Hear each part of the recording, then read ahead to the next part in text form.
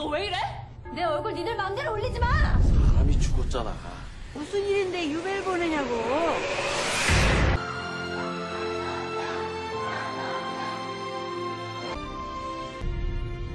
കൊറിയയിലെ ഒരു യഥാർത്ഥ കഥയെ അടിസ്ഥാനമാക്കിയെടുത്ത ചിത്രമാണ് ഹാങ്കോഞ്ചു നാൽപ്പത്തിനാല് പേര് ചേർന്ന് ഒരു വർഷത്തോളം ഹാങ്കോഞ്ചു എന്ന പെൺകുട്ടിയെ പീഡിപ്പിക്കുന്നു ആ പെൺകുട്ടിക്ക് പിന്നീട് എന്ത് സംഭവിച്ചു അവൾ രക്ഷപ്പെട്ടോ ഇല്ലയോ എന്നീ കഥകൾ പറയുന്ന ലീ സൂച്ചിന്റെ സംവിധാനത്തിൽ ഇറങ്ങിയ ചിത്രമാണ് ഹാങ്കോഞ്ചു ചിത്രത്തിന്റെ തുടക്കത്തിൽ കാണിച്ചിരിക്കുന്നത് നമ്മുടെ നായികയായ ഗോഞ്ചുവിനെയാണ്.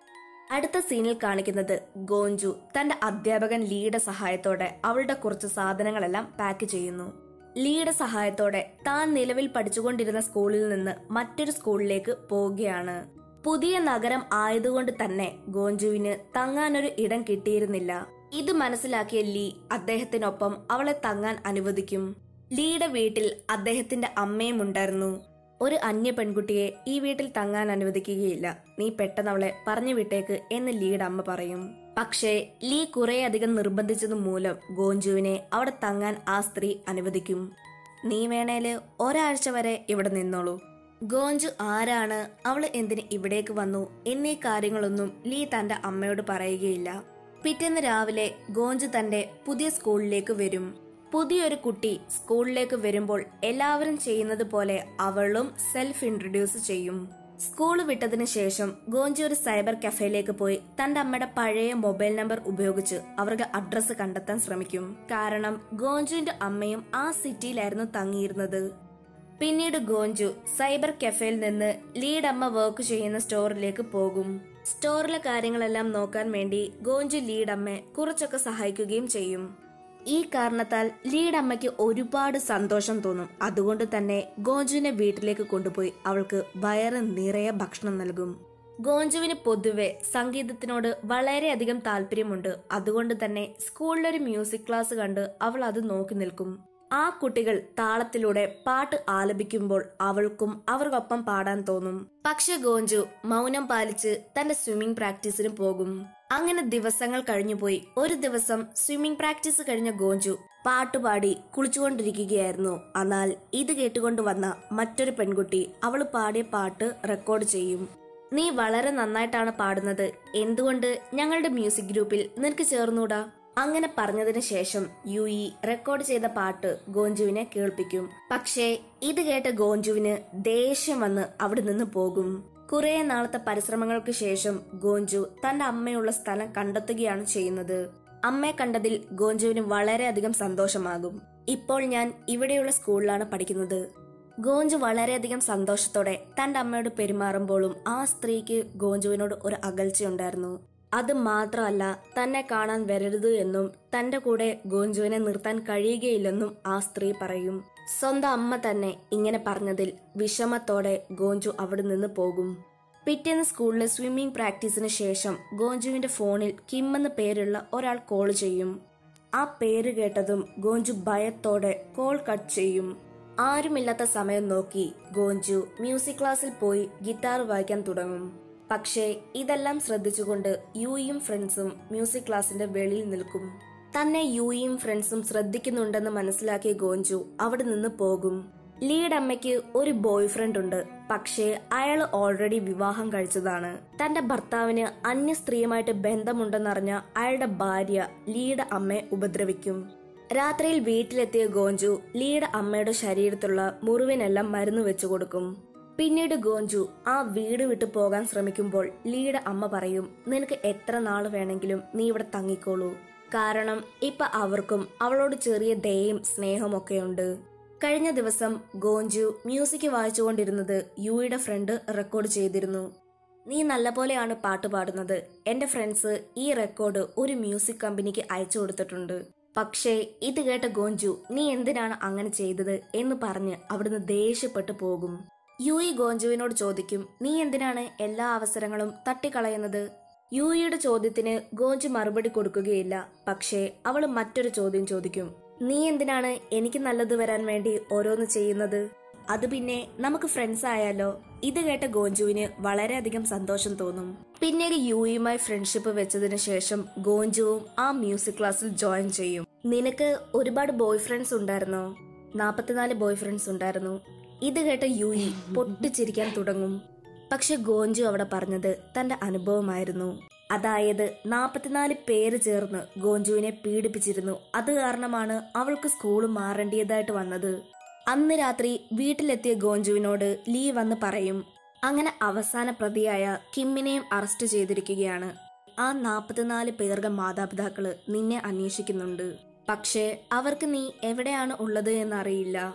പിറ്റേന്ന് ഗോഞ്ചുവിന്റെ അച്ഛൻ അവളെ ഒരു റെസ്റ്റോറന്റിലേക്ക് കോൾ ചെയ്ത് വിളിച്ചു വരുത്തും. അദ്ദേഹം അവളുടെ കയ്യിൽ ഒരു പേപ്പർ കൊടുത്തതിന് ശേഷം അതിൽ സൈൻ ചെയ്യാൻ ആവശ്യപ്പെടും. സൈൻ ഇട്ടതിന് ശേഷം ഗോഞ്ചു ആ പേപ്പറിലുള്ളത് എന്താണെന്ന് വായിക്കാൻ ശ്രമിക്കും. പക്ഷേ അതിനു മുമ്പേ അദ്ദേഹം ആ പേപ്പർ അവളുടെ കയ്യിൽ നിന്ന് വാങ്ങും. കുറച്ചു നേരങ്ങൾക്ക് ശേഷം ഗോഞ്ചുവിനെ ലീ കോൾ ചെയ്ത് പറയും നീ സൈൻ ചെയ്ത പേപ്പേഴ്സ് ആ പ്രതികൾക്ക് വേണ്ടിയുള്ള പെറ്റീഷനായിരുന്നു. പ്രതികളുടെ മാതാപിതാക്കളുടെ കയ്യിൽ നിന്ന് പൈസ വാങ്ങി നിന്റെ അച്ഛൻ നിന്നെ തന്നെ പറ്റിക്കുകയാണ് ചെയ്തത്. ഇത് കേട്ട ഗോഞ്ചുവിന് ഒരുപാട് വിഷമം തോന്നും. പിറ്റേന്ന് സ്കൂളിൽ ചെല്ലുമ്പോൾ യു ഗോഞ്ചുവിനോട് പറയും അന്ന് നീ പാടിയ പാട്ടിന്റെ വീഡിയോ ഇന്റർനെറ്റിൽ അപ്ലോഡ് ചെയ്തിട്ടുണ്ട്. ഒപ്പം നിന്റെ ഡീറ്റെയിൽസും കൊടുത്തിട്ടുണ്ട്. ഡീറ്റെയിൽസ് കൊടുത്തതുകൊണ്ട് തന്നെ പ്രതികളുടെ മാതാപിതാക്കൾ അതിന്റെ പിറ്റേന്ന് തന്നെ ഗോഞ്ചുവിനെ കണ്ടെത്തും. നാൽപ്പത്തിനാല് പ്രതികളിലെ ഒരാളുടെ പെറ്റീഷൻ മാത്രമായിരുന്നു ഗോഞ്ചുവിന്റെ അച്ഛൻ സൈൻ ചെയ്ത് വാങ്ങിയത്. ബാക്കി നാൽപ്പത്തിമൂന്ന് പേരുടെ മാതാപിതാക്കൾ പെറ്റീഷൻ സൈൻ ചെയ്ത് വാങ്ങാൻ വേണ്ടി ഗോഞ്ചുവിനെ ടോർച്ചർ ചെയ്യും. പക്ഷേ അവിടെ നിന്ന് എങ്ങനെയൊക്കെ രക്ഷപ്പെട്ട് ഗോഞ്ചു ക്ലാസിന്റെ പുറത്തേക്ക് ഓടും. പിന്നീട് ഗോഞ്ചുവിന്റെ ആ കഴിഞ്ഞുപോയ നിമിഷങ്ങളെയാണ് കാണിക്കുന്നത്. പണ്ട് ഗോഞ്ചു ഒരു സൂപ്പർ മാർക്കറ്റിലായിരുന്നു വർക്ക് ചെയ്തിരുന്നത്. അങ്ങനെ ഒരു ദിവസം കടയുടെ ഓണറിന്റെ മകനായ കിം അവിടേക്ക് വരും. കടയിലിരുന്ന കുറച്ച് ചിപ്സ് എടുത്തുകൊണ്ട് കിം അവിടെ നിന്ന് പോകും. ഗോഞ്ചു പുറകിൽ ചെന്ന് നോക്കുമ്പോൾ ചിപ്സ് എടുത്തുകൊണ്ട് കിം അവന്റെ കുറെ കൂട്ടുകാരുടെ കയ്യിലാണ് കൊടുക്കുന്നത്. ഗോഞ്ചുവിന്റെ ബെസ്റ്റ് ഫ്രണ്ട് ആയിരുന്നു ജിസോ. ജിസോയുടെ കാമുകനായിരുന്നു കിം. കിമ്മും ജിസുവും കൂടി ചേർന്ന് ഗോഞ്ചുവിന്റെ വീട്ടിൽ ഇടയ്ക്കിടയ്ക്ക് വരാറുണ്ട്.